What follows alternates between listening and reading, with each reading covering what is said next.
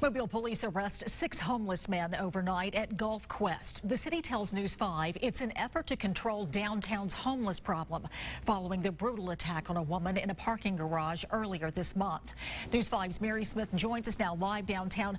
Mary, how do downtown patrons feel about this new effort? Well, Roseanne and Devin, everyone I talked to seemed to agree with the city of Mobile that there is a homelessness problem, and they just can't seem to agree on how to address that problem. Six men booked into Metro Jail all around the same time, all for the same violation.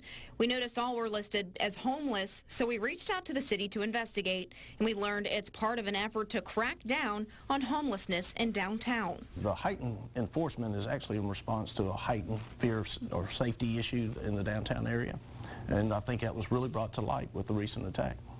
And that recent attack was the brutal beating and attempted rape of a woman in the RSA parking garage earlier this month. Police charged Douglas Dunson, a homeless man arrested over two dozen times here in Mobile County. Safety Director Barber says the city has beefed up security, putting more officers on the clock in the downtown precinct. You know, a lot of people want to be able to walk down the sidewalk without being harassed, and we're trying to make sure that people move about freely and feel safe. I think the city is doing what it can within the constraints of their budget and within the constraints of their manpower. Others say arresting them is a temporary fix to what feels like a permanent problem. That doesn't solve anything, you know, but we can try to put things in place where it help them get back on their feet. And Barber does tell me a lot of those charges that they're being arrested for are indecent exposure, public intoxication and urination, and trespassing. Reporting live in downtown Mobile, Mary Smith, WKRG News 5.